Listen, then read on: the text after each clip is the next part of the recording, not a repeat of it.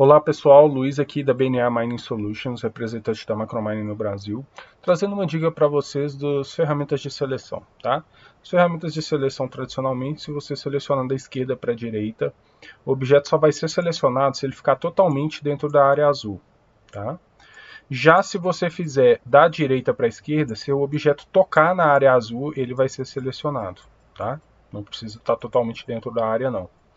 Além disso, nós temos a ferramenta de seleção por polígonos, tá? Então vou vir aqui em Polygon Selection e aí eu posso fazer um polígono contornando os objetos que eu quero selecionar e dar um clique direito para fazer a seleção desses objetos, tá bom? A nossa outra ferramenta que foi lançada é a Paintbrush Selection, no qual você consegue fazer a seleção de forma é, abstrata, tá?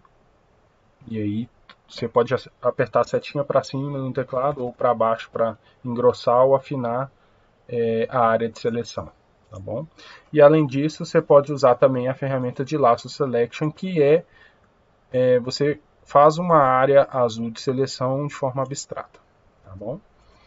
Queria mostrar também a ferramenta de seleção de intervalos, tá? que essa ferramenta é bem útil para o pessoal que trabalha com furos de sondagem. Então vou colocar a legenda aqui. Vamos supor que eu quero fazer a seleção de alguns veios aqui. Só que eu tenho muitos objetos. E esse aqui poderia ser um pouco trabalhoso fazer a seleção um por um. Eu posso dar um clique direito aqui no meu arquivo.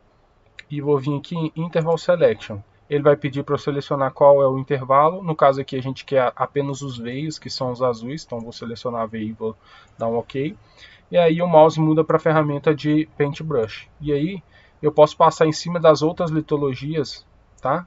Que eu vou estar tá selecionando objetos é, apenas que forem veios, tá? E eu consigo selecionar vários veios sem selecionar as outras litologias desses furos. E se eu quiser, eu posso vir mudar alguma propriedade ou algum dos campos aqui.